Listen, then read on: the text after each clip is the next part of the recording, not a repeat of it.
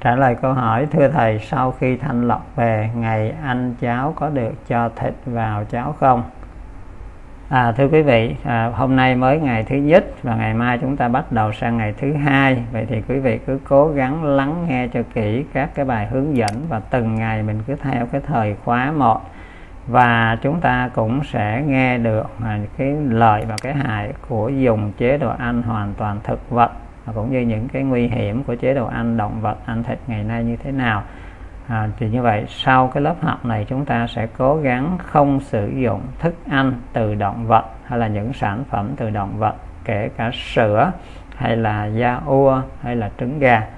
Thì à, quý vị cố gắng lắng nghe cho kỹ những cái bài giảng để thấy được cái giá trị của việc thực tập của mình và nguồn gốc của bệnh lý từ đâu mà đến. Cách hạn chế nguồn gốc của bệnh lý cũng có một phần từ cái chế độ ăn của thịt nói riêng và thức ăn của từ động vật nói chung.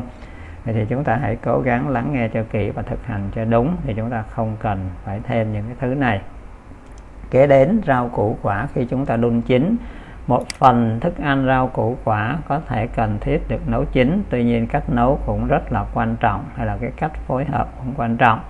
Và nếu chúng ta lắng nghe kỹ các cái bài học thì chúng ta thấy rằng cái cách chúng ta sử dụng nó và giờ giấc chúng ta sử dụng nó càng quan trọng hơn.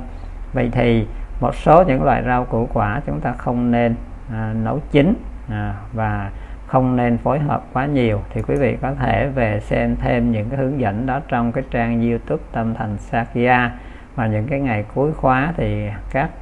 em trong ban tổ chức sẽ chia sẻ cho chúng ta những cái cách à,